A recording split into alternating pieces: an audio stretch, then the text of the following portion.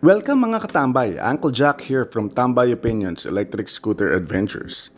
For today's video, eh, isasalang natin sa speed test si Race Sigma XT. Titingnan natin ang numbers na kaya niyang ibigay from modes 1 to 3. So, let's roll that intro and kung hindi ka pa nakasubscribe, eh, tulungan mo ng channel namin by hitting that subscribe button.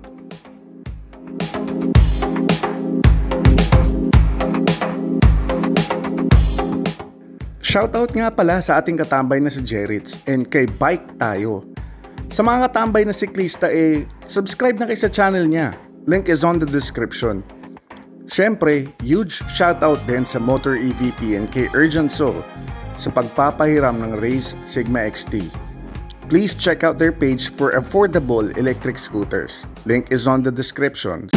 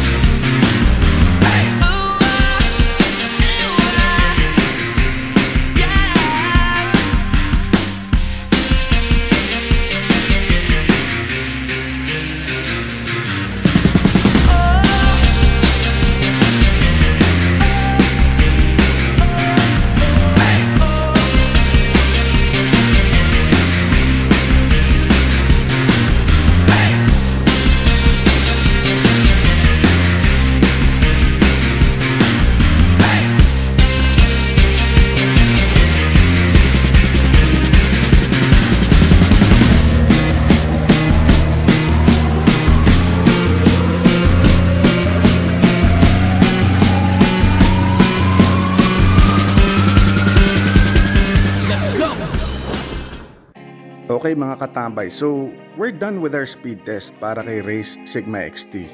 And here are the results. Hindi man natin naabot ang kanyang advertised speed, eh, the speed is pretty good pa rin for a commuter type scooter or para sa ganitong size ng scooter. By the way, Mode 1 and Mode 2 has the same speed pero the difference is nasa torque or yung power.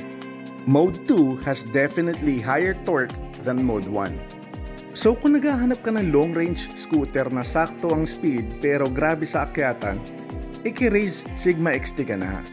For the slope test nga pala katambay eh, you can click the i button sa taas to watch our last video kung saan inakit namin si Race Sigma XT sa Tocadon Bikers Cafe. Kung nagustuhan mo yung featured scooter for today which is the Race Sigma XT, eh wag mo kalimutan katambay na you can get a 500 peso discount sa Motor EVP by using our code hashtag TO500.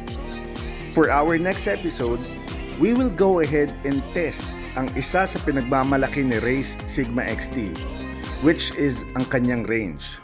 Salamat sa panonood and please don't forget to subscribe din katambay kung nagustuhan mo tong content na to. So, magkita-kita ulit tayo. Uncle Jack, signing out.